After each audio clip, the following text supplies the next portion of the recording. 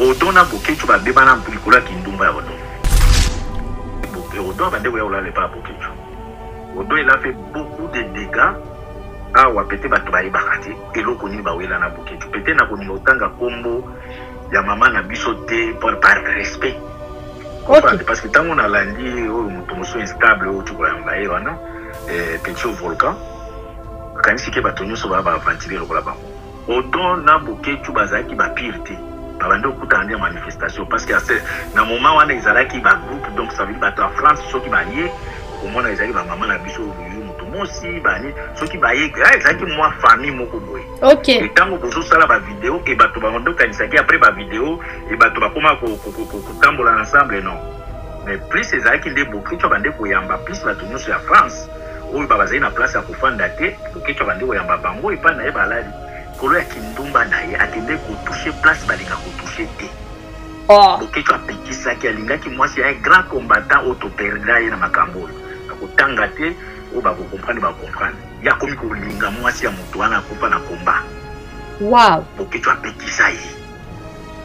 Felix no o touche mama wana te aza symbole ya mwasi ya moto akufi na combat odo abandi okende osala kindumba kuna wow. yango nde bawela wow. comprendre ozolanda nalingi nakota lisusu mikolo kaka ya kindumba ya odon wana babebanaki te eloko babebenaki plus eza ya moto oyo ye alingaki mwasi ya grand leader ya kuakufa na komba oyo Mais oyo mosusu wana ba kindumba mosusu wana soki na ndenge obanda opesa ba detail ya wana eza ba dega eza nango na tina te mais eloko ba wela pona alandaki petit oyo boluka biloko azo loba oyo boketshu na odo ba non non non ba wela oyo nazo yebisa yo ke boketshu asepela te kokende kolinga mwasi ya moto oyo akufa na kati ya komba yo okende olinga ye alingaki babunda na kote ya na garde midi na bruxelles makambo wana nga nalingaki abunda bokechu wa yango odon na bokechu likolo mpo bokechu aopekisa ye ke jamais osimba mwasi wana te na nsima ya ebisi nga moto napekisaki na badoki mm. parce que nayoki azotanga ba soki babadin baodon soki otali bato wana eza ekiri na bango wana ya bato baza instable e bato oyo baza capable me otanga bakombo ya basi na bango te tuna bango to ata moko atangela ata na bango tu ndenge baza wana na volcan Na odon na oyo soki nini babin moko atanga ata foto ya mwasi obi alakisa ata foto ya mwasi na odon na na babe bauti okuta na felix bayebi biloko ni felix ayebisaki bango yo kombata ozokende okuta na felix donc mpona kosilisa na question na otunaki te batika kozala bapire te na komba ezalaka te bokutani bosali bavideo bato oyo baza bapire oyo te baza bokobenga biso Eza ke Guillaume c'est moi et Boketshu ça fait combien d'années bozo mona biso ensemble? Est-ce que division makasi oyo na combat parce que na kwa koyoka ba dire oyo bimiseli biso na oyo musupe tozo zo bandeko musupe azoloba nini penze kaboli combat? moto asala campagne mpo concert ya impr ebetama yo si omona moto ozobunda mpona kodenonse makambo ezokoleka na mboka na yo bisika bazoboma bato mais oza mpe champion ya koreklame miziki mpo ebeta Petit wana moto azalaki liboso ya makambo ya MPR oyo biso tointerdisa ebeta te. Okay. Moto ya ndenge wana moza moto ya koyamba.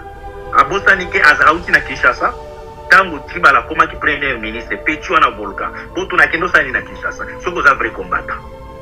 Akende osala nini akomaki kuna baboye koyamba ye azongi akomi azongi kikombata.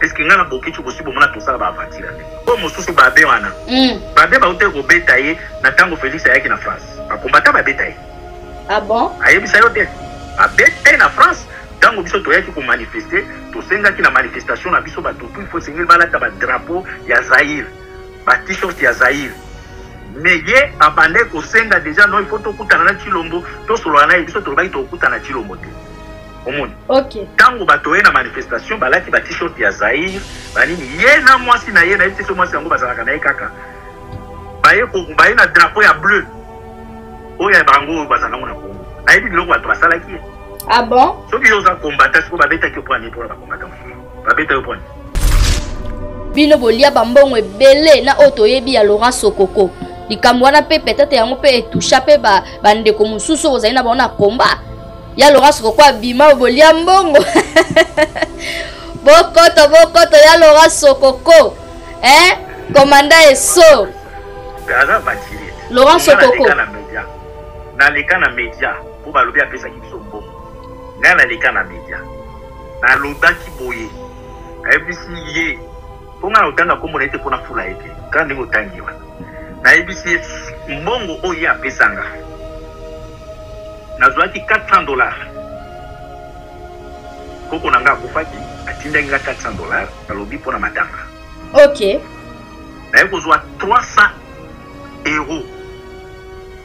Tango na mataki, tomataki na ambassade, na kitisi drapeau, na matisi ya Zaïre, asepeli, atindi na teni masa alobi ah mela na mbomela ya champagne atete bokeco soki 5 ka nazwaki soki nazwaki passe 300 400 kwa euro dollar euro comme ça donc na mbongo oyo ngai nazwaki ya sokoko et c'était 700 euro nabenga ye naya na émission epai ya fabrice nayebi siloka sokoko mbongo na yo yango 700 tinda nkombo na yo nazongiselo mbongo na yo Okay. naya nango na compte boye nayebisi fabrice simba mbongo oyo atinda mbongo nazongisa ye 700 euro yokanisi 700 euro mama nde ekofusala biso tozala ndenge tozalaka après miziki oyo bozoloba oyo miziki ya bato bapesaka nsima ba, ba deux fois deux fois kala mingi te ezokufa nango hein? oyebi mwasi ya mwasi soki mobali alingi yo te azwi ka deux fois une fois baye yo hein? ndenge bazuaki zuaki ye na nsima wana papapapa basi basisi guu nyonso esili macron mpe azolongwa na ye bavisa wana ekokata baconcert wana ekokata mama bana toza na bino awa okomona te bakomopimela bako baza kobeneficie parce ke eza na moto moko apesaki kuna biloko ya pititi kala mingi te ezosila crise yango wana okomi okota na france crise eza ezoya Bokanisa te ke ba visa wana ba continue na kopesa bino parce que ba français bakomo sentir crise po bakomo perdre Afrique. Concert moko ezongi te, concert normal eza te. Po ba concert oyo ebeti bango tout sacrifice esalemi bapesi makambo bango moko bapesaki bino moko boyebi. bandeko mingi balobi euh, boketshu wa yambo bena yo moko mpe na kati boza na interdiction ya koya na france awa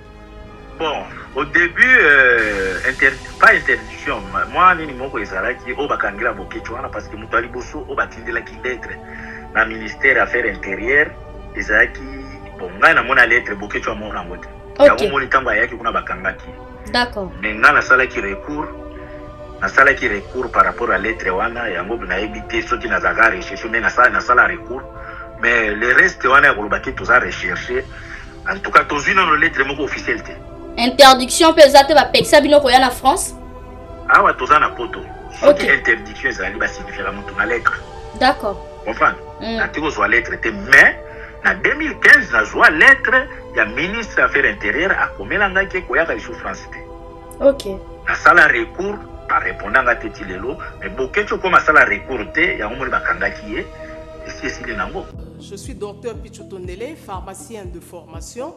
Je suis formé à l'université de Kinshasa à la faculté de pharmacie. Et puis je fais d'autres masters en transformation des agro-ressources à l'université Marien Wabi et au Canada en préparation de cosmétiques thérapeutiques naturelles.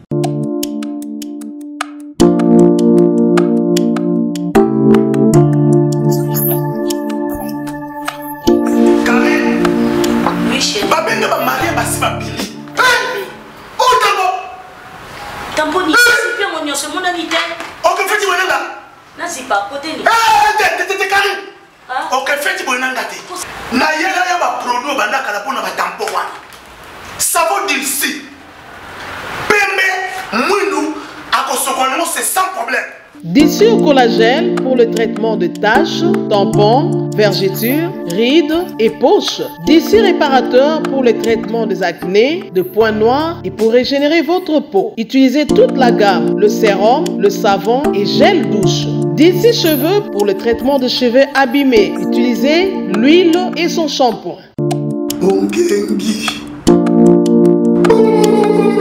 Avec Dixie.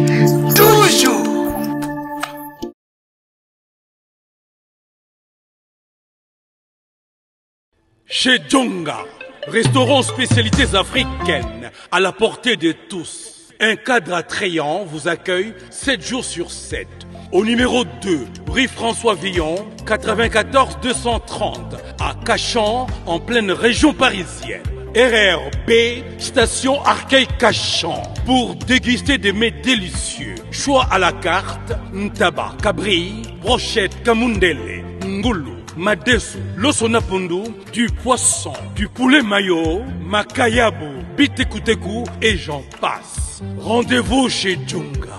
Dans une ambiance musicale, modèle Yambo Cannabiso. Chez Djunga. Venez, venez vous allez vivre du vrai. Chez Djunga, votre restaurant vous propose des ventes des plats divers à consommer sur place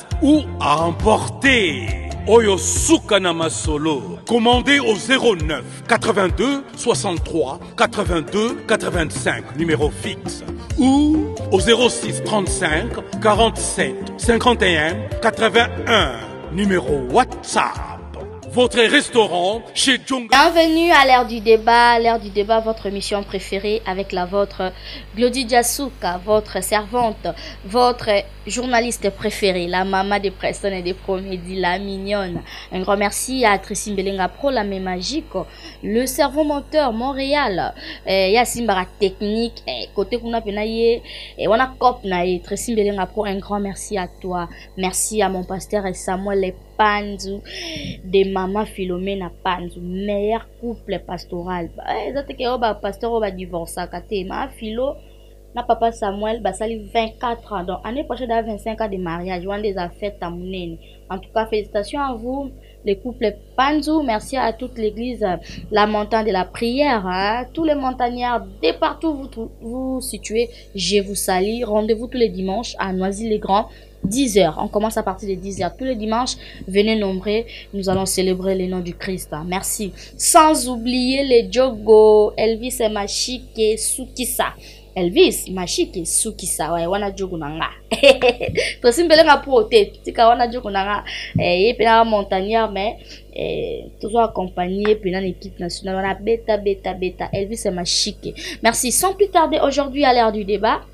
concept oyo eza pour la toute première fois bomesana na yango parce que nazwi baappel tellement ebele ebele ebele ya bandeko mpe baza baza na biso awa te na france na paris te baza na bamboka ebele ebele na bandeko na biso oyo e, balobelaka mboka na biso congo bandeko toyebi na, na masolo etali ya combat tobenga bango bacombattant barésistant en tout cas partout oyo ozala oyebi ke oparticipaka na makambo etali combat eh, contacte biso oyo eza eh, premier numéro tosa na ndeko na biso euh, euh, commanda eso Tosa en est déjà en ligne.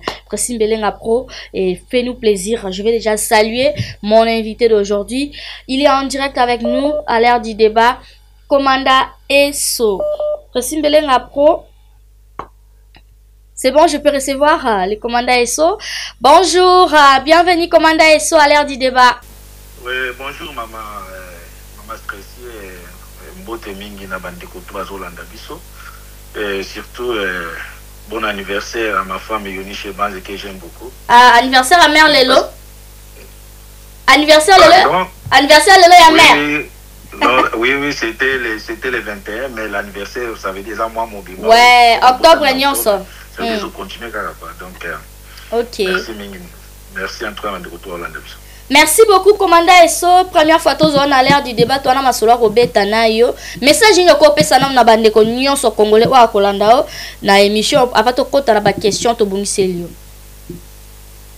Non message ezo senga kaka ke batu bazwa sens ya patriotisme parce que le pays va mal D'accord. et surtout euh, toza na manifestation awa le 2 novembre euh, oyo tokozela ba ndeko tout lokola ba Zoro Bilele ba ba ba comment ba, ba, ba ndeko baza mwa ebele tellement nazo yeba te banani bazala na combat na banani bazala na combat te mais moyen na Zoro Bilele j'ai des précisions quoi que c'est un combattant Yango omoni que nao senga ba ndeko tout ya France le 2 novembre tozala na Bruxelles pona ko manifester parce que bomoni bino moko dejà ba manœuvres ebandi ya ko changer constitution et kosala que ezo senga que tozonga na nzela pona ko ko intercaler un peu bato oyo baza un peu na ba idees moko ya mabe pona ko kanga mboka en otage. C'est ça message naza nango. Merci beaucoup commandant Esso toyaki na motuna tongaki kotuna yo obotama wapi kombo na yo mpe Nani oyo ba botela yo? Bon kombo na ngai eza kaka batu bamona na Facebook kombo na ngai Some Ekanji donc naza originaire ya Maniema donc mon père c'est il est Mukusu ma mère elle est Mukusu Lokele donc nabotami na Kindu na avenue Kasai na ah. Kindu nakoli na Likasi na Lubumbashi okay. natangi na Likasi D'accord très bien ok très bien merci beaucoup e awa masolo oyo etali komba obandaki yango quand nga nabandaki komba na 2009 2009 oui. ok ozalaki na association mo osongolo opakala to obandaki yango ndenge nini non non non parce que ezalaki toujours na baappel ya bato eh, bazalaki kobunda ntango wana surtout particulièrement ezalaki appel ya Eh, oyo nalandaki ezalaki appel ya Henri Moke, euh, il faisait appel à tout le monde que bato baya na manifestation. Et D'accord. c'est là où na- na- nazalaki obligé nakende participer na manifestation après là donc euh, ti lelo. Ti lelo. OK, c'était na Paris to na Belgique. Oh, Non, non, non, non, nala- naza à Bruxelles. Ah, ezalaki na Bruxelles. Très bien. Donc yo oza odebuta combat no kaka na Belgique na mboka ovandaka, c'est ça? Oui, oui, oui, oui. OK. Naza na Bruxelles.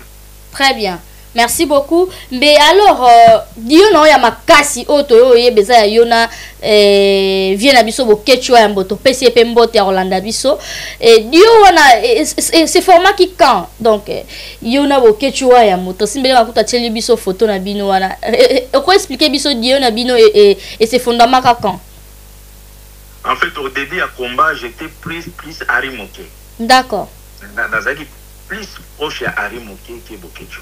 D'accord. Bon, aveu que ba ndeko wana Henri Muke un certain moment combat na ye ezalaki vraiment claire te.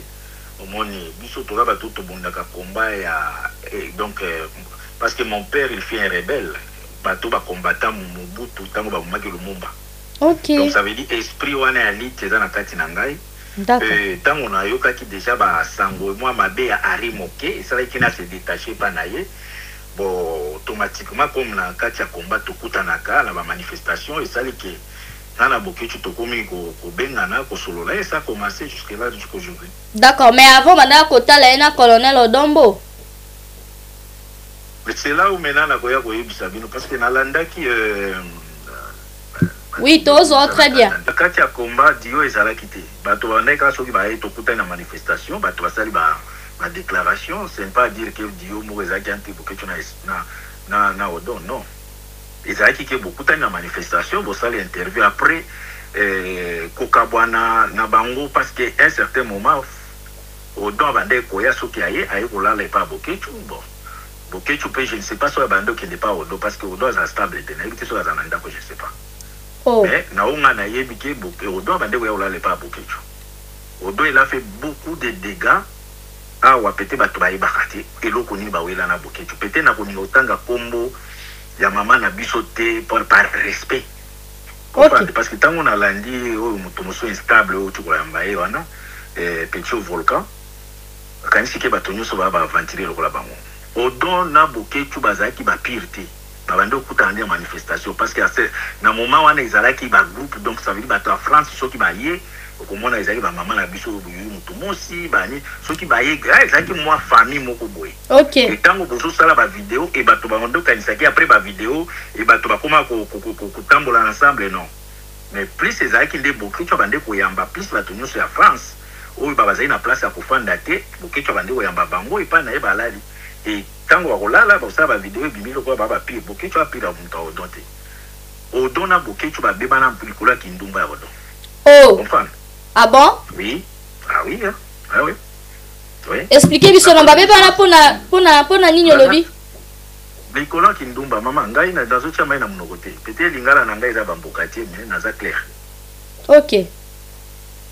Likolo ya kindumba na ye, akendeki ko toucher place balinga ko toucher te. Oh! Boketshu apekisaki, alingaki mwasi ya un grand combattant oyo to perdra ye na makambo oyo na ko tanga te, oyo ba ko comprendre ba comprendre. Ye akomi ko linga mwasi ya moto wana akufa na combat. Wow! Boketshu apekisa ye. Ayebisi non, ko toucher mama wana te, aza symbole ya mwasi ya moto akufi na combat. Odo abandi okende kosala kindumba kuna. Wow. Yango nde ba wela. Wow. Comprendre? Tozo landa. Na lingi na kota lisusu. Mikolo kaka ya kindumba ya odon. Wana ba beba na kite. Eloko ba bebe na ki plus eza ya mutu oyo ya linga ki mwasi ya grand leader ya kwa kwa na komba oyo. Mais oyo mususu wana ba kindumba mususu wana soki na lingi ya mando pesa ba detail ya wana osala ba dega. Eza nango na tina te mais eloko oyo bawela po na landaki petit oyo volcan biloko azo loba oyo boketshu na odon ba non non non non bawela oyo nazo yebisa yo ke boketshu asepela te kokende kolinga muasi ya moto oyo akufa na kati ya combat yo okende olinga ye yango boketshu asepela nango te yango ye na odon ba bebana ba bandi oyokana lisusu te d'ailleurs balingaki babunda na cote ya na gare du midi na makambo wana Nga na lingaki abunda boketshu wa yambo. Odon na boketshu likolo po boketshu ako pekisa ye ke jamais oko simba muasi wana te. Ok. Na sima ya ebisi nga mutu na pekisaki ye na ba ndeko mususu. D'accord. Donc ba histoire wana bazo ya ko beta soki boketshu soki amelaki soki nini donc eza ba histoire ya batu oyo baza instable na ba vie na bango. Parce que na yoki azo tanga ba ba oyo soki ba Badin, ba Odon soki otali otali batu wana eza ecurie na bango hein. ya bato baza instable et bato oyo baza capable meme ya kotanga ba kombo ya basi na bango te tuna bango to ata moko atangela ata na bango tout ndenge baza wana na volcan na odon na oyo soki nini babin moko atanga ata photo ya mwasi ou bien alakisa ata photo ya mwasi na ye ou bien atia ata na facebook eza bato baza instable oyo bazolinga koya kobebisa reputation ya bato combat eza besoin ya bato ya ndenge wana te Baza bakoma ba ex combattants parce quand on parle de combat du combat aujourd'hui on parle de nous batu oyo totikala constant bawuti kokutana na Felix batu wana Odon na na Babe bawuti kokutana na Felix bayebi biloko nini Felix ayebisaki bango yo combattant ozokende kokutana na Felix donc pona kosilisa na question na otunaki ke batika kozala ba pire te na combat ezalaka ke bokutani bosali ba video bato oyo baza ba pire oyo ke baza boko benga biso eza ke guillot c'est moi et boketshu ça fait combien d'années bozo mona biso ensemble ok d'accord eza lidio ok donc ya bango ezalaki kaka coïncidence bakutani baosala ba video ensemble ndenge naza boye soki otuni ngai dans quel n'importe quel moment na oyesaki boketshu aza place boye lelo aliaki boye ça veut dire tokoma famille ok soki obengi boketshu asa no yeso yero aza place boye Mais ye na Odo babandaki ko se frequenter par rapport ya ba manifestations mais bazalaki ba pire te. Ok.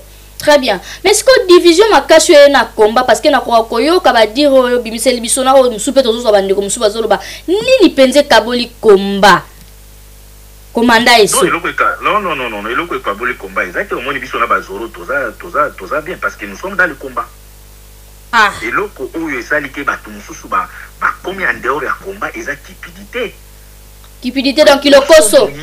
Kilokoso, cupidité ezaka lokoso. C'est ça. C'est ça. C'est muyibi donc c'est ça lokoso na bi cupidité lokoso ya mbongo. OK. Yango nde esali ke bato mosusu bakomi hors combat.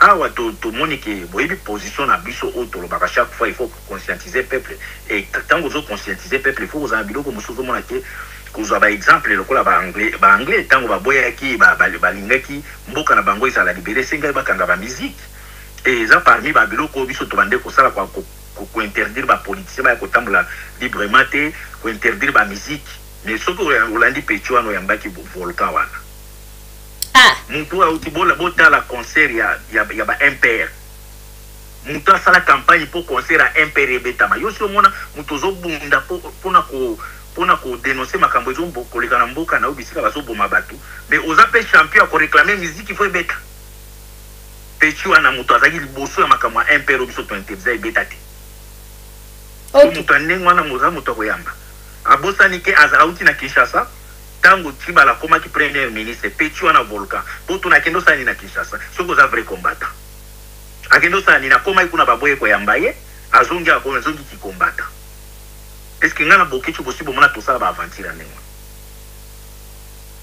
Ok. donc eza bato baza stable te meme na ba vie sociale na bango bazolinga koya kosala ba emission kobamba bato après mpo emission na ye ebonga d'ailleurs nga nakoki koloba na bango te soki naye kotanga ba kombo na bango mpo namoni batangaki biso comprendre Très bien. Soki atangaki biso te tolingi natanga ye te po po nga batala nga na ba emission na nga naza oblige natanga kombo ya batu te mais bango po batala bango na ba video na bango il faut batanga Bokitshu na Esso makambo eza ebele na Congo ya kolobela kuna et ya ko denoncer eza ebele pourquoi yo oya kosala emission kaka Boketshu na Esso Boketshu asalaki boye mais oza na ba argument te par rapport ya makambo eleka na Congo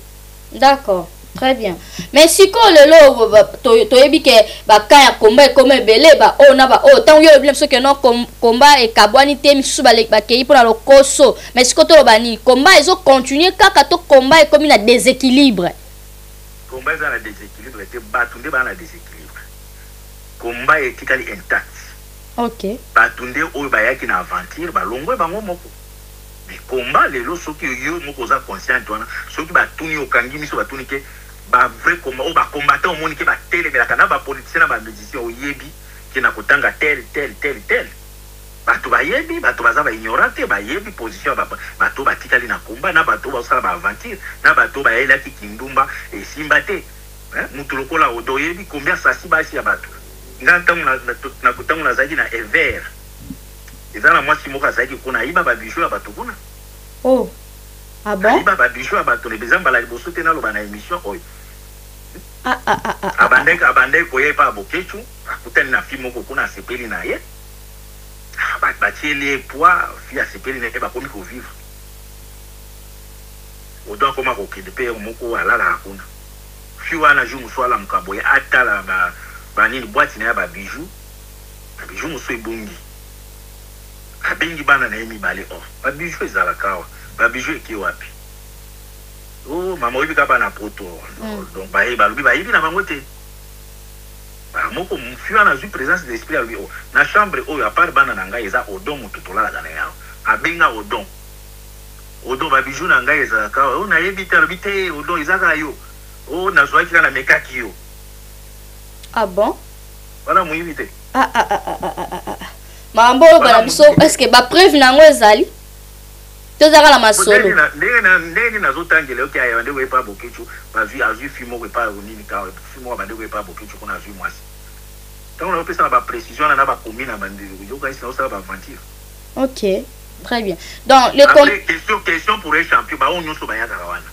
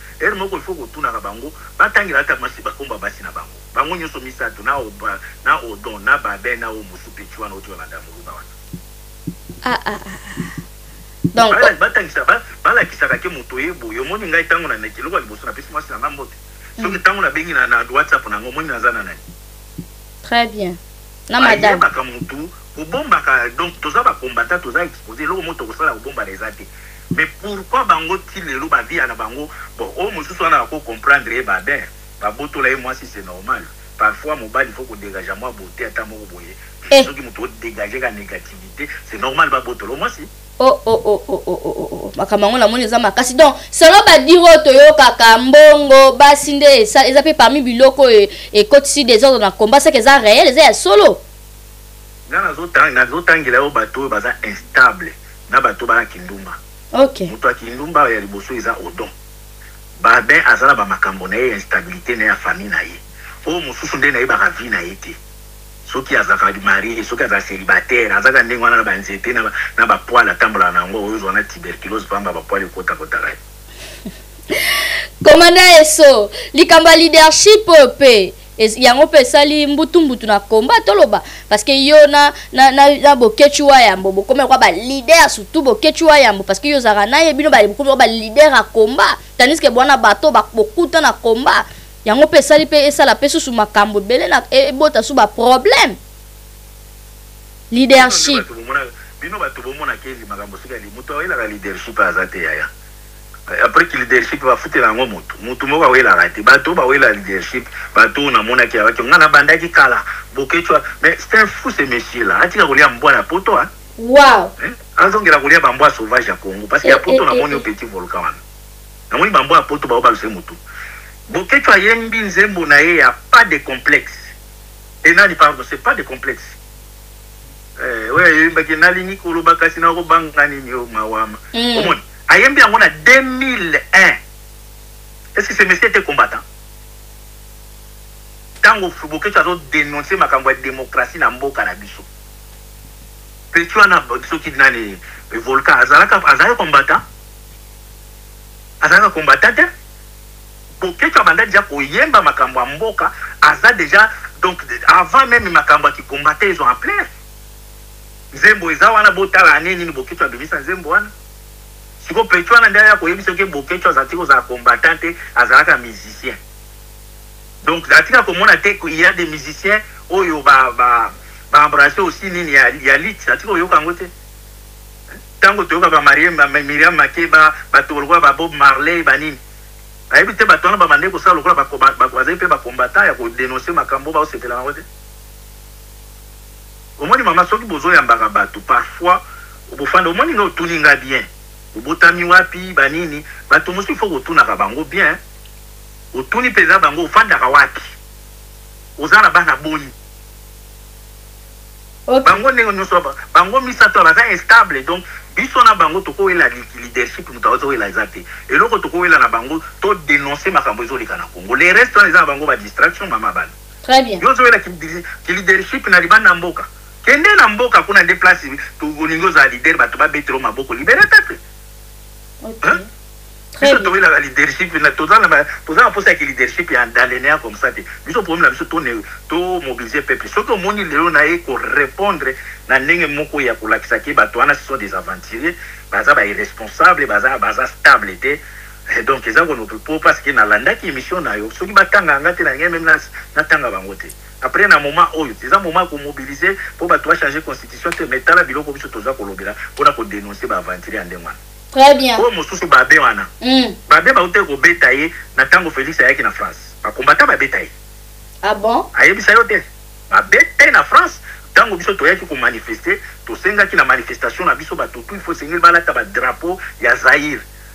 ba t-shirt ya Zaïre mais ye abandaki kosenga dejà non il faut tokutana na Tshilombo tosolola na ye biso tolobaki tokokutana na Tshilombo te omoni Ok. tango bato ye na manifestation balati ba t-shirt ya Zaïre ba nini ye na mwasi na ye nayebi te soki mwasi yango bazalaka na ye kaka baye ko baye na drapeau ya bleu oyo ya bango oyo bazalaka yango na Congo nayebi biloko bato basalaki ye Ah bon? soki yo oza combattant sikoyo babetaki yo mpo ya nini mpo na bacombattant mosusu babeta yo mpo ya nini Oh, oh, oh, oh. Wana esalama ye quand? Mais premier voyage ya Felix na France. Hein? Ok. Tango ayaki na France premier voyage oyo ba combattants ba to manifesta na ba mm. drapeau ya vert et d'ailleurs les gars na na ba TV5. Ok. Ye mm. sikoyo ayaki na mwasi na ye mpo susi na ye ezalaki ke esengeli biso tokende bato toyamba Felix tosolola na ye. D'accord. balukaki kwa mwa dialogue bo dialogue alingaki bo aye na drapeau oyo ya bleu biso toboyaki drapeau ya bleu na manifestation na biso ayebi nde babetaki ye na mwasi na ye wana d'accord ok mais sikoyo lelo ekoma ekoma lokola mwa eloko ekanga bino kashe wana elata bino keno bino bolia bambongo ebele na oyo toyebi ya laurent sokoko likambo wana mpe peut-être yango mpe etusha mpe bandeko mosusu oyo ozali na bango na combat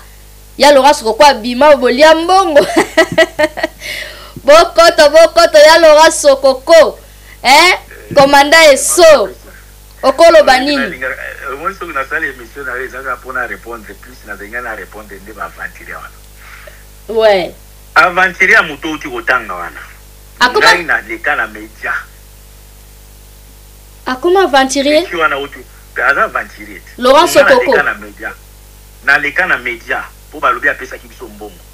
Ngai na leka na media. Na lobaki boye. Na yebisi ye po ngai na kotanga kombo na ye te po na fula ye te kaka ndenge otangi wana. Na yebisi ye mbongo oyo ye apesa nga. Na zuaki 400 dollars.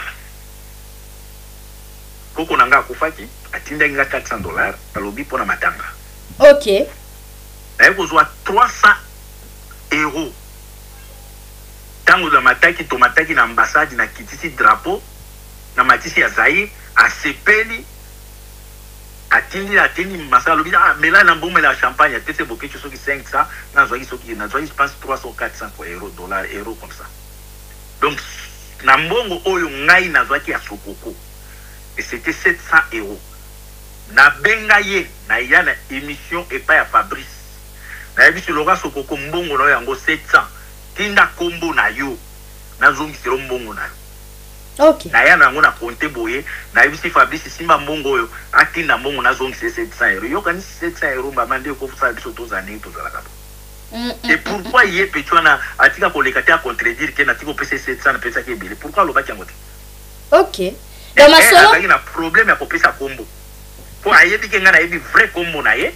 na kombo naye ya ya lokuta ya place afanda na mboka azalaka wana D'accord. place Donc, na bande kozelela ye siko atinda kombo nalakisa bino bomona ke ste farceur sikoyo mbongo nyonso oyo abetelaka toloka soutena komba nyonso wana eza lokuta eloko bino boyebaka te atika kosoutenir komba te aya epa bokechu mpo bokechu afula ye yo soki ozotanga kombo ya moto wana mpo oyebi yango na atravers bokechu no c'est ça po ayaki epa boketshu boketshu azala na de casquette ana casquette ya musicien ana casquette ya comba ayaki epa na boketshu apres bobosana te ke boketshu na furna na lora na na petshou wana baza ba ndeko oh baza ba famille amemela boketshu mbunda mutu wana amemela ye mbunda ah bon amemela boketshu mbunda boketshu obeta konga yo kende obeta concert Ah. Aya na place oyo ba, ba materiel ya Boketshu ezalaka. Azalaki na mbongo te ya kozonga epai na bango. Autaki soki cote soki ya ba, nayebi te soki N'djili, soki ba Mokali kuna nayebi te. Akomi na place akomaki, akuti que ba grande sœur na ye azalaki te. Moyen mpe azonga makolo ekomaki pasi. Akei na siège ya, con- ya nini, ya Boketshu. Akuti kuna Elobaba, Ilo, soki Elobaba, soki nani moto abetaka mbunda wana, aza ko charger ba camions na ba ba instrument po akende kobeta ba Boketshu akende kobeta ce monsieur amema ba mbunda pona Boketshu Laurent Sokoko oh, oh, oh, oh. amemi pe atie kuna babeti concert bazongi Boketshu akende pe alali na siège wana donc eza babiloko moko eh, ya koyebisa bino kende bama na toza besoin ya mbongo me mbongo pa ya salite ya ndenge ya bato botanga biso tozwa mbongo neti ngai nayebisi yo soki apesaki boketshu mbongo eza mpo boketshu afulaki ye Neti nga natika ozua mbongo naye te. Ok. Asala to a manipuler petit oyo mosusu oyo oyo ya Django oyo awuti koyiba ba bijoux epa ya batu awa na ndaku oyo donc Oyo Boketshu azo kende Angola aza na passeport eza na visa na kati soki visa eza na kati te ngai nako longua ki combattant ça veut dire makambo tout nako lobaka eza lokuta mutu ayebisaki ye kaka mutu wana oyo ozo yebisa oyo ya Angola wana toya na passeport ya Boketshu tofunguli première page ti dernière visa eza te. Omoni comment ba kosela biso makambo. Visa eza te. Depute ya lekaki alobi visa eza na kati kuna. Soki na kosi kaka. Nani akosaki ye? Moto ya Angola. Ayebisi ke Boketshu ana visa so ya Angola. Kuna oyebisi ke ba biloko wana balobaka ba mbongo ba nini. Eza bato bana posa mbongo. Mais biso soki tokozwa mbongo, tozwa mbongo na voie normale. Okay. Parce que ya kolia tozangi te. D'accord. Ya kolia tozangi. Ata soki ozwi bato yango wana lelo tobima ata tokita na Kinshasa yaya. Bayebi bango te? Bino bokende Kinshasa est ce que boyoka ba kombo ya bato batangaka kuna? Ba kombo na bango batangaka bango neti ya Pechou auti koya na poil auti kokata nini mokila ya mbwa otambola tambola nango boye bayebi ye kuna hmm. eh mama stresi tu mekana bo mekana lo utasala micro balader na Kinshasa batangela bino trois combattants oyo bango bayebi est ce que bakotanga moto otambola mokila mbwa ok lelo bayebi ye te eza lelo bato basala forcing ok mais lelo oyo to- to- ba- tomoni mpe eh, laurent sokoko a- asalaki rebellion na ye après kosenga susu ba ba excuse nyonso wana bareaction wana oko analyse yango ndenge nini komanda eso Pa- mama nalingi okota na buzoba ya moto wana nakoya omipakola buzoba pamba na moto tosi toloba makambo wana keste na aventire Ba oyo ba moni dejà biloko asali na peu du temps soki une semaine soki deux semaines ba yebi kaka que c'etait un aventurier donc to lingi ko kota na makambo to ya ko fula mutu te po mutu mususu tangu oko sala emission boye alingi a ndiembela po a longola bosoto na ye na ki ba aventurier na ye wana batu ba moni sikoyo que tangu to lobaki que c'etait un aventurier batu ba moni dejà. D'accord très bien on continue du coup combat cible ezalaki pe makambo ya musique hein sikoyo musique ezongaki par rapport ya wana oko loba nini Musique ezongeli kobeta. Si, si, cible ya combat na biso eza musique te. Faut pas ko confondre makambo ya ya. Cible na biso ezali occupation bato bakoteli biso na mboka. Mm. OK. Pona ko mobiliser peuple esengalaki kobanda ko attaquer ba, ba musiciens, ba pasteurs na ba politiciens. Mm. Combat na biso ezalaki musique te. D'accord. Après musique oyo bozo loba oyo musique ya bato ba pesaka sima ba ba deux fois deux fois kala mingi te ezo kufa na ngo hein oyebi muasi hein muasi soki mobali alingi yo te azui ka deux fois une fois abaye yo hein ndenge ba zuaki zuaki ye na sima wana pa pa pa pa basi ba sisi gout nioso esili macron pe azo longua na ye ba visa wana eko kata Ba concert wana eko kata mama bana toza na bino awa okomona ke ba bako mopimela ba con baza ko beneficier par ce que eza na mutu moko apesaki kuna biloko ya PDD kala mingi te ezo sila crise yango wana okomi okota na France hein? crise eza oyo ezoya bokanisa te ke ba visa wana ba continue na kopesa bino parce que ba français bakomi osentir crise mpo bakomi operdre Afrique Concert moko ezongi te concert normal eza te po ba concert oyo ebeti bango to sacrifice esalemi ba pesi makambu bango moko ba pesaki bino moko boyebi omoni wana eza concert te après kosila nioso ya moto ozo tanga wana oyo farira wana kosila naye nioso yango wana asi a force force abeti beti na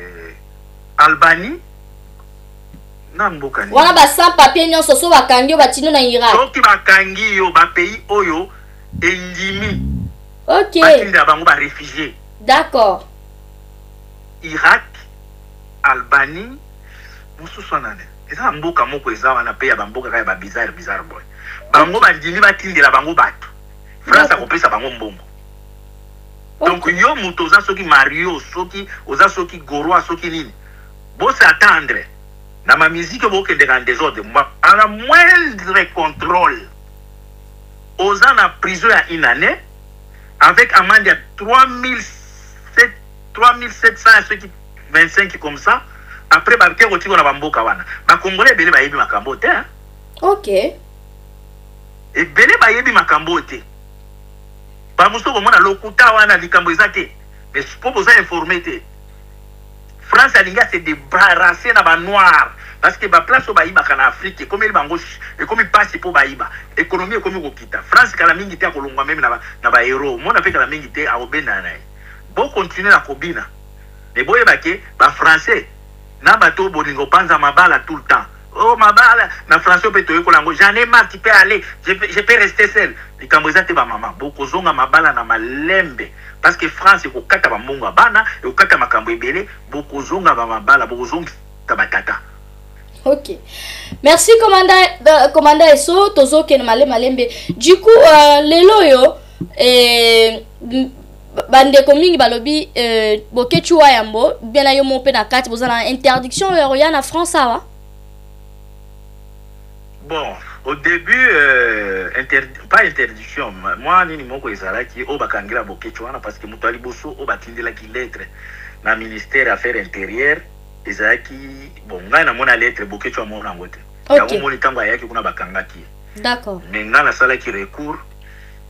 Nasalaki recours par rapport ya lettre wana yango nayebi te soki nazalaka recherche mais nasala nasala recours mais le reste wana ya koloba te toza recherche en tout cas tozui nano lettre moko officielle te. Interdiction pe eza te ba pekisa bino koya na France? Awa toza na poto. Soki okay. interdiction ezali ba signifiera mutu na lettre. D'accord. Comprendre? Mm. Natiki kozwa lettre te mais na 2015 nazwa lettre ya ministre affaire intérieure akomela ngai ke koyaka lisusu france te okay.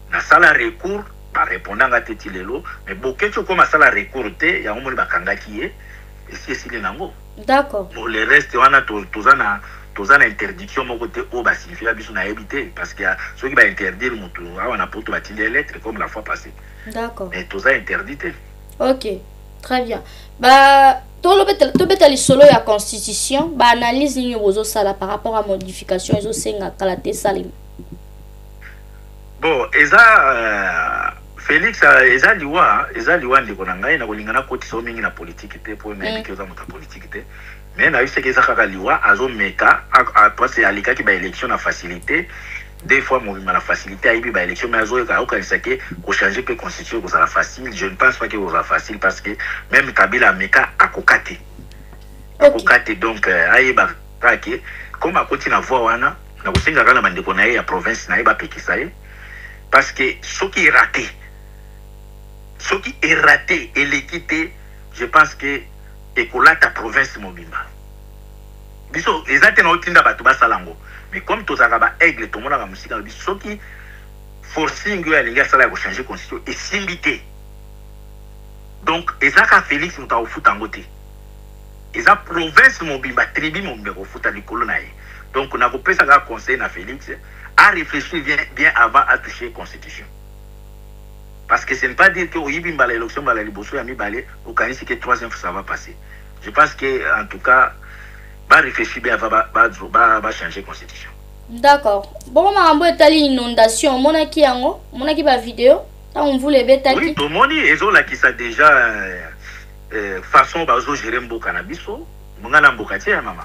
Mm. Kimboka chango ya yo pe yo tambola na passeport kenyan. Bon, omoni omoni bato mosusu ba revaka. Omoni na ba congolais ko bandana na président na bino moko.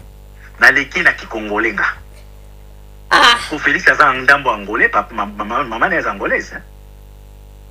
Mama. Na leki nanu. Mutu nyonso ya koloba kinga na tambola na passeport kenyan, neti petu ya Angola wana. Ye mutu alobaki ke na tambola na passeport Kenya ye moko dejà passeport aza na yango awangana papa na ye papa biologique mutu abota ye aza mongo awangana ye ake ko kondima papa bio oyo abala maman na ye angolais omoni batu ya ndenge wana bazo c'est normal baya kopakola biso ba salite eza na eza na plus congolais ke moi aza te nga na na kati batu ba yebi carte geographique na na kati ya Congo na na frontière moko te Soki oke na cote ya sud na na na Katanga, oke na cote nayebi te kaka sud soki nini, na na Kasai, omati boye na na Kivu, oke boye na na Kisangani, na na kati. Mais bato oyo balobaka ndenge nyonso, tuna ye moto oyo okoyokana na biso, yebisa biso, pesa siko province na bino. Ngai nakopesa na village na biso, ngai na na village oyo babengi Choto Rambe. Okay. Na frontière ya cote ya Batetela. Bato wana tunaka bango, collectivite de Bakongola. Omoni eloko esalaka bango ndenge wana na bogar makasi aleki bango ba omona ke bote ya boy congolais azana yango te ba mutu lokola bale lokola oh, lokola oh. peti oyo tombula moke na mbwa moke na mbwa wana zwa yo moko na foto boye yo moko oza mwasi zwa bango na ngai tellement bazomona ke ezosimba te lobi ke moto oyo bilongi ya bogar boye euti na mboka nini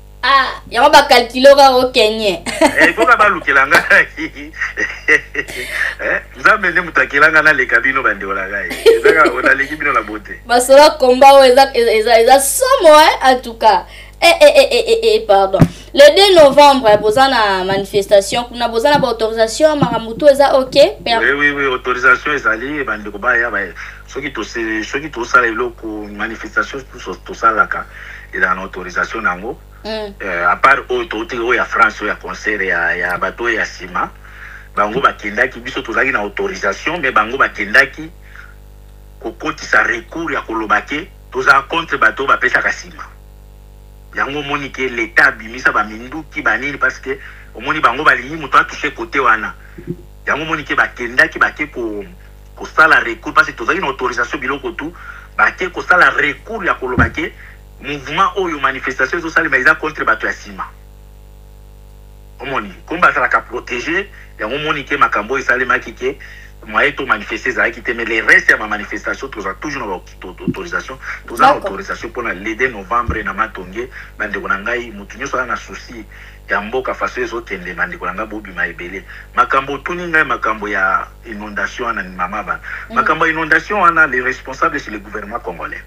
Ok. Eza gouvernement congolais. Nga na ko demontrer que eza gouvernement congolais. Un gouvernement corrompu oyo ezo ko accepter bato bakufa likolo ya mbongo. Na mboka wana Marechal Mobutu oyo bafingaki dictateur akendaki atiki société moko babengi yango Régie des eaux. Régie des eaux ebandaki kopesa bato mayi. Mais batu oyo baye na ba rwandais baye ba bomi societe ya regie des eaux ba fongoli ba societe ya ko fabrique ba eaux pure et ba eaux pure wana il faut batia na kati ya ba sachet na ba na ba na ba bouteille omoni et batu oyo baza ba actionnaire na kati ya ba societe ya ko fabrique mayi ezali Batu ya gouvernement, ba Nyakeru, ba Felix, ba Kamere, tous ces gens là nde baza ba actionnaires na kati ya ba societes oyo eza ko fabriquer mayi. Siko tokende na calcul simple mama na nga, okomona ke batu wana nde batu ba provoquer inondation wana. Boyebi ke societe oyo e fabrikaka mayi, ba sachets eza kokweya ebele na nzela. Kinshasa dejà soki o ca- o calculer nombre ya ba habitants, esi ekomi soki 15 millions d'habitants na Kinshasa yango moko. Mais batu wana baza na mayi ya komela te. Baza na mayi ya komela te donc baza oblige basomba mayi oyo bino boza parceque mayi ya robinet ekomi obima jaune baza oblige basomba mayi et tango dejà mutu na totia nanu na simple calcul ya kolongola ke sur 15 millions totia ke 7 millions bamelaka mayi ya ya ya ya nini ya eau pure chaque jour ça veut dire soki mutu moko akoki komela deux sachets ya mayi par jour chaleur eza makasi soki mutu moko akoki komela deux sachets ya mayi par jour et les deux sachets fois un mi pardon fois 7 millions de personnes oyo bakomela mayi jour na jour moko po baza 15 millions tokati na kati ke eh, 7 millions bakomela mayi ça veut dire bakomela moto moko ameli 2 sachets par jour ça veut dire tozomona 14 millions de sachets babwaka par jour Ok. soki ocalcule 14 millions de sachets par jour ocalcule yango fois 30 mama toza ba 21 millions te sachet par jour oyo mutu ameli abwaki ameli abwaki mais soki bo calculer so par an ba sachet wana tango ezo kweya mabele efiniki ekweyi mabele efiniki oyo ekoti pe na ba caniveau ekoti kuna ezo kende ko tonda tango mbula eko beta bo s'attendre na nini par ce que batu ya gouvernement baza ba responsable baza ba ba nini ba comment on appelle ça ba actionnaire na kati ya ba societe ezo fabriquer mayi et lelo omoni tango mayi e couler bozo mona ke c'est plus la quantite ya ba plastique nde ezo couler ok yango nde ezo soki ekoti na kati ya sa kobosana te ke tango mbula ebeti ekoti na kati ya ba ndako ba toilette ebele ezaka polele ebimi na ba salite wana ebambi yango na ba mire lobi kuna bokoyoka ba maladi mosusu après bato ya gouvernement oyo baza koyiba mbongo chaque jour bazotonga ba immeuble oyo baza na ba toilettes te bato bato ba immeuble ba ba mibele ba ba immeuble ya likolo ba ba toilettes te mingi bakoma ba basketteur bato ebele bafandaka na kati ya ba immeuble na ba ba basketteur oui ba basketteur basala nde nini ba basketteur soki asali na ye kaka kuna abwaki yango boye ekwei kaka na se alanse ba toilettes te ah, ah, ah. balanse kaka pa ba basketteur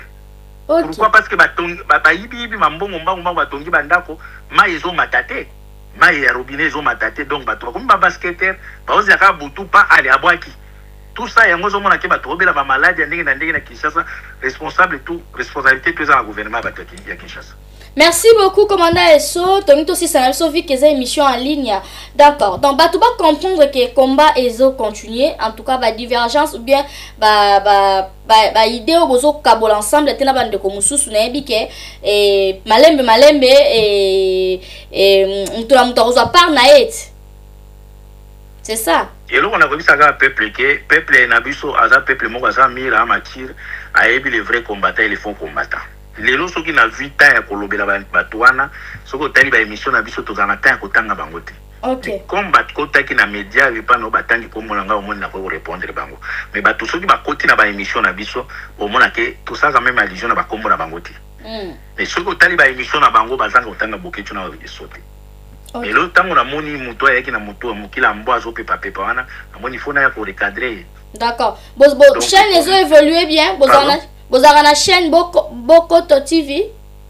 Chaîne... Mais wana eza site ya, ya Boketshu te. Ah, yo poza na wayo. Yo poza na wayo. Eh, moi nga naleka na facebook hein, boketsho c'est normal est ce que boyebi te mpona kosala baémission baémission mosusu ezalaki bozokende fo bokende olanda motu lokola joni eyempe azala na liège okay. ofutma na bruxelles okende olanda na ye na liège toza na, na ndeko na biso moko azalaki na, na nini baomenge pompier de la presse il faut okende na anvers mais ntango moto amoni ke technologie avancée Il faut afongola Facebook naye e edaka ye po aleka po na landaki mutu azo tambola na mokila ya mbwa wana mbwa yango alie mwa mbwa ya batu abomi mokila ozo azo loba ke boketshu azalaka na na YouTube mais c'est normal monde actuel eh, mutu soki alingi a communiquer aoleka wapi hein? soki president ya Ukraine ya Ukraine azwaka ye moko amitiele kamera na ye azoloba bongo nde boketshu soki atui nini atui site na ye ekomi ke o aza aza azaka lokola bino nyonso Tala manque ya respect ya ba ndeko mususu ozo linga donc après quelque part mutu oyo atambola na mokili ya mbwa wana soki batie ata mwana moko ya boketshu kaka mwana boketshu moko akotangisa ye hein akotangisa ye vraiment bozala na respect ya mutu Soki olingi leka kuna loba gouvernement na bino ya baluba eza wana comment bazo tonga comment boza ko avancer comment bolingi ko changer constitution tika koya kotanga mutu eh, rien à voir na emission bobandaki kosala nayebi ata eh, bit nango sujet c'était quoi bala moko boye kotombe pa boketchu boketchu asali nini na eso peuple azozela bo denoncer makambo ya ma massacre na Congo bo denoncer ndenge Felix azoboma bato Ba kombo na biso esala nini? Poka ba tala yo na emission il faut tanga nga. Donc ti lelo o changer nanu te. Wana likambu ya ya stimula wana boketshu amelelaka mwasi ya bato wana po oyokaki yango c'est vrai ou c'est po oyeba ke moto amelaki stimula ça veut dire bosomba ya place moko oh ye ah, baye okuta kwei ameli eh, comment na okuti nitre simbele viagra tika na yebisa yo Mutu oyo alobi ke akuta bakuta ye Boketshu akweyi ça veut dire ye pe esika babandaki kokende bango mibale bamelaka ba viagra eh oui po oyebaki nde niki mutu akweyi kuna esekisika makasi eh. vraiment en tout cas après est ce que peuple congolais azo bénéficier na kuna nini na oya kolobela makambo ya ba viagra ba nini soki yo utilisaka yango batutu ba utilisaka yango te comprendre Parce que peuple azo zela yo na makambo ya niaka oyo expliquer batu que okendaki na gouvernement ya Tshibala tango ako premier ministre eloko nini okende kosala kuna c'est ça batu bazo zela oya ko expliquer hein. Ok, commandant Esso, le message est très bien passé. Na bande konyo so balandi biso, oza un message ya kopesa pona Message ezaka que je m'excuse d'abord na bato balandaka biso, mm. peut-être bamoni mpe naza na langage mpe. Mm, oza énervé hein. Wana ka papi volcan silikisi yo boye nzambi na ngai. oza enerve eh, eza ko non non non eza ko silikisa te mama il faut ko s'adaptaka na mutu soki aza impoli okende na impolitesse okay. omoni soki mutu aza quand même soki ayaki kopesa ba argument politique na lingi te na ya na ba argument politique mpo na okay. naza hors sujet te okay. mais comme ayaki na kivoyou na ye na mokela mbwa il faut na ya na ye na ndenge wana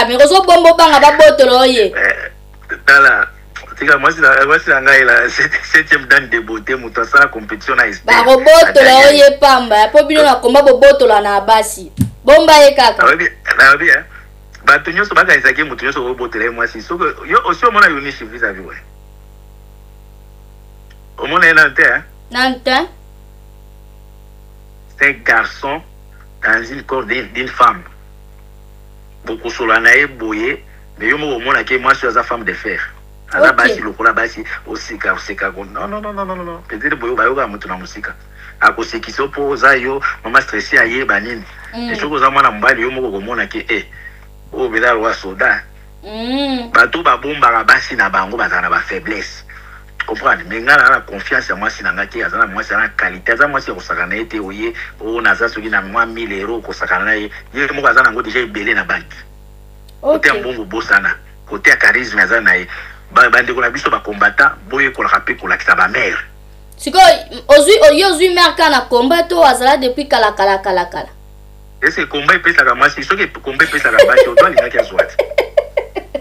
po biso bato bango bakosalela nkombo ya kikombata kikombo wana ekomi akozwila yango basi akotrafike soki komba epesaka basi babe alingaki azwa mwasi bongo aza na mwasi te na tuka hey, eh, ala ah, mwasi te en tout cas merci c'était là euh, les commandants et son nous sommes arrivés à la fin quelques salutations na bato bandeko balandi yo commandant et son nga napesi mare mbote napesi mare mbote les gros bisous bozala bien oui, en tout cas merci en tout cas félicitations mm. na mosala bosala malamu bandeko na ngai je m'excuse encore de plus soki naye koleka na émission oyo fo mm. batangaki ngai soki batangaka ngai te obe batangaka boketshu te na ngai toni ngai toya te Okay. Donc, euh, je m'excuse na bato nyonso bakotutisama en tout cas boyebaka la heure moko mpe fo kozala mm. mpe na comportement moko voye en face na moto omoniki ose comporter comme un voyou il faut se comporter comme un voyou aussi merci merci beaucoup quelques salutations mbote eza te hein?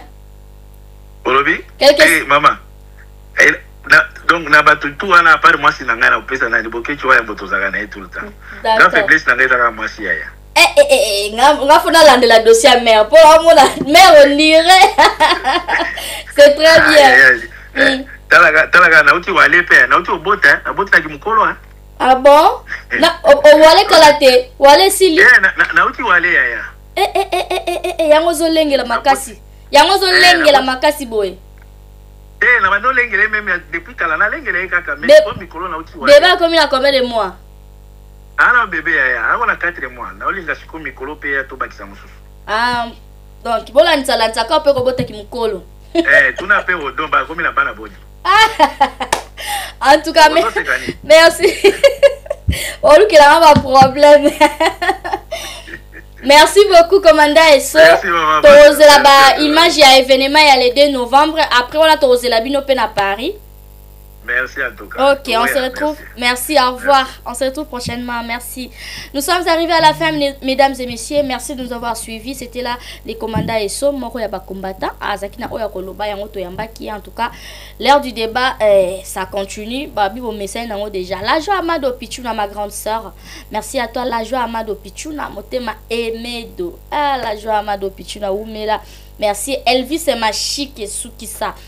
Elvis et Machik et Sukisa, mon pasteur Samuel et Panzu, ya maman Philomena Panzu, merci à maman Blanche, motema papa Blaise dans ses goddesses, merci à Pepe Kibala, Pepe Kibala, ya maman Elise, merci à papa Jean-Marie Diasuka, merci à Moria Kabela, ya Ritz Kilolo, merci à la famille Manienza, et eh, la famille d'abord. Christa Diasuka, Josué Diasuka, maman Tobela, je vous aime beaucoup, Tressimbelenga Pro, nous sommes arrivés à la fin.